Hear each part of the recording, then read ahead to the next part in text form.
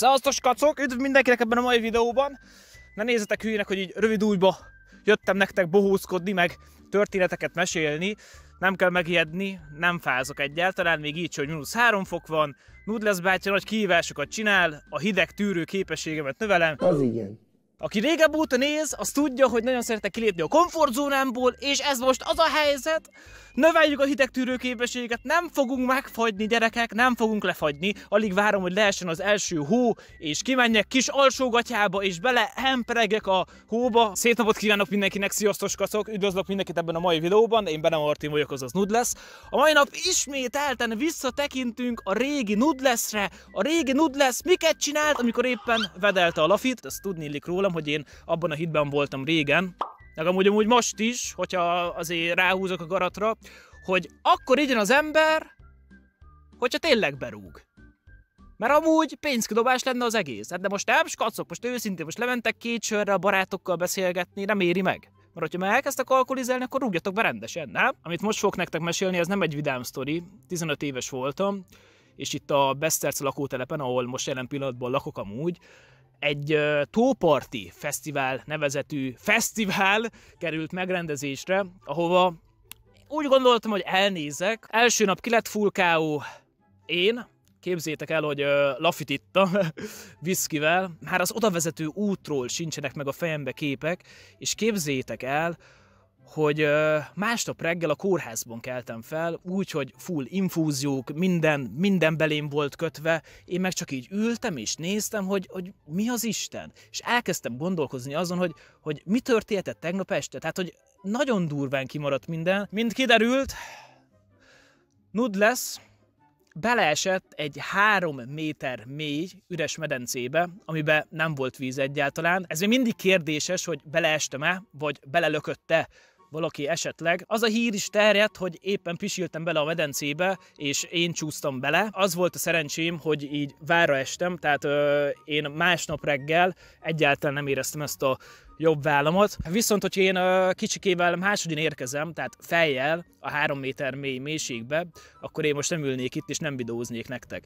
És akkor csak ezt nem feltétlenül ilyen vicces sztorinak szántam, hanem inkább tanító jelleggel szerettem volna ezt elmesélni nektek, hogy ne legyen az, hogy túlkapjátok és önkívületi állapotba kerültök, mert tényleg nem tudhatjátok, hogy mi történhet. Bármi, tényleg, főleg, hogyha lány vagyok, és ennyire akcióba lendülök, ami amúgy a mai fiatalokról most, hát hogy mondjam, eléggé jellemző, hogy úgy benyomnak, nem csak alkoholról van is szó, hanem tényleg mindenről, mint például Jenuska, siposékkal, gyerekek, benyomta ő is. Szórakozó helyen nyomtuk, táncolgattam, nagyon ko- Én úgy képzétek el, hogy úgy táncoltam akkoriban, hogy egy három méteres rádiusz volt körülöttem, hát így verettem, össze-vissza csapkodtam minden, dubstep meg elektrót imádtam, és, és ez nem nagyon tetszett a kidobóknak. Hát most fogtak engem a tél kellős közepén, és kiraktak kabát nélkül, és nem, nem adták oda kabátomat, és ott álltam a város közepén, ugyanígy, ahogy úgy most vagyok, és így sétáltam haza. Gondolhatjátok, tényleg tél kellős közepén a gyerek pólóba. Mindegy, másnap visszamentem a kabáté, a főnök egyből megismert, és hát leült velem egy kicsikét beszélgetni, hogy azért legközelebb ne csináljak ilyet, mert véletlenül szájba vágtam egy lányt. Ezek kívül még sok ilyen szájba vágó sztorim van, Siófokról is, a plázsról. Pizs Antán volt, emlékszem, aztán így paf, kínai srácnak, így volt utána a gyerek.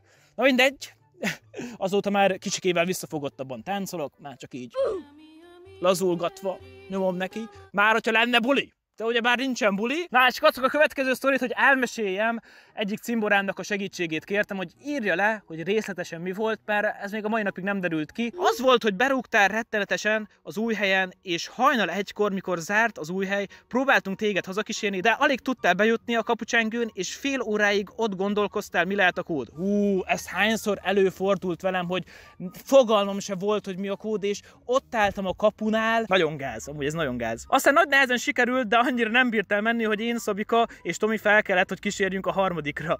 Ezek után mondtuk, hogy mi megyünk, kopog be, de aztán feküdj le aludni. De mivel ezt rohadtul nem akartad, plusz folyamat mondtad, hogy nem alszol, meg ilyenek, egy fél órás győzködés után ott hagytunk a szinten, tehát a harmadikon ott hagytak a skacok. Mi lesétáltunk pár emeletet, és ott vártunk, hogy hát ha jössz lefelé, mert amúgy hideg is volt, meg nem akartunk, hogy kimenj, elessél valahol, és megfagyjál. Előfordulhatott volna ez is, így a medencésztől után, skacok, úgyhogy. Amikor ott álltunk és hallgatóztunk, arra lettünk figyelmesek, hogy egy cipzár, aztán pss, meg egy biz nagy csattanás a földszinten, hogy leért a úgy. Na, ekkora ébredt fel anyud, és kérdezte, hogy mit csinálsz. Mondtad, hogy anya pisilek, de ezt azon a bebaszott hangon, amiből egyből levágós, hogy eszednél se vagy. Hát igen, skacok, annyi volt tényleg, berúgottan úgy lesz, aztán hát lepisiltem a harmadikról lépcsőházba. Előfordult az ilyen is. Meg még sok pisi sztorim van a későbbiekre, hogyha szeretnétek hallani. Van még egy sztorim, ami az egyetemen történt, és higgyétek el, hogy fogalmam sincs, hogy hogy történhetett ekkora szakadás úgy az agyamba, tehát full nem emlékszek semmire, miközben amúgy nem is ittam sokat, kettő csajszi talált meg, úgyhogy fekszek konkrétan az út közepén. És, és én, én nem emlékszek semmire. Tehát valamit beleraktak a piámba. Ezért mondom azt nektek, skacok, hogy soha ne írjatok olyan piából, ami random le van rakva, soha ne fogadjatok el olyan piát, amit csak úgy a kezedbe nyomnak, és nem előttetek bontanak ki. Nagyon vigyázzatok, nagyon figyeljetek, a mérték legyen a barátotok, és tanuljatok az én hibáimból, mert Látjátok. Szeretnétek part 2 ebből a sztorizgatásból, ebből a bulizó sztorizgatásaimból, akkor azt mindenféleképpen jelezzétek a komment szekcióba, viszont én lefagytam skacok, a kihívást uh, kibírtam, mert itt ülök vagy 40 perce, de higgyétek el, hogy nem leszek beteg, mert spártai vagyok, terminátor vagyok. És... És oda! Nyomom neki! Ennyi.